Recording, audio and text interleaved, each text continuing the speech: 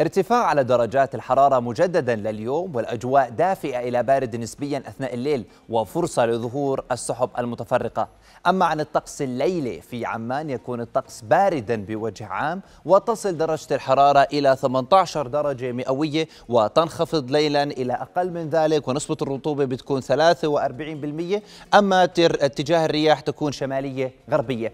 الطقس خلال الأيام القادمة في المملكة غدا الثلاثاء اندفاع كتلة هوائية حارة نسبيا وارتفاع إضافي على درجات الحرارة والطقس حار نسبيا وتصل درجة الحرارة إلى 31 تنخفض ليلا لغاية 22 درجة مئوية.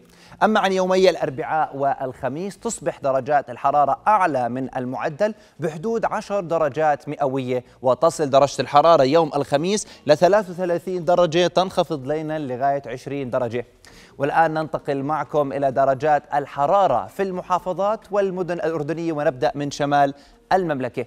بإربد بتكون اليوم 34 بجرش 34 أيضا بعجلون بتكون 33 بنكمل درجات الحرارة حتى نوصل مفرق الليلة بتكون 16 والنهار اليوم 23 بالزرقاء 18 ونهار اليوم 33 بالسلط 32 لليوم أما مطار الملكه علياء بتكون أيضا 33 والأجواء آه، صافية أما مادبة بتكون 31 بالبحر الميت الأجواء شديدة الحرارة تصل لغاية 39 الكرك 31 أما الطفيلة 30 والأجواء صافية.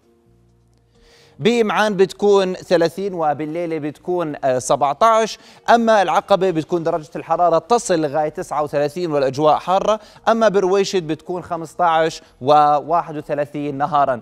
ملخص الطقس في المملكة ارتفاع على درجات الحرارة اليوم وكتلة هوائية حارة نسبيا يوم الثلاثاء والأجواء حارة يوم الأربعاء. من المحلية للعالمية ننتقل إلى درجات الحرارة لمدن ودول حول العالم.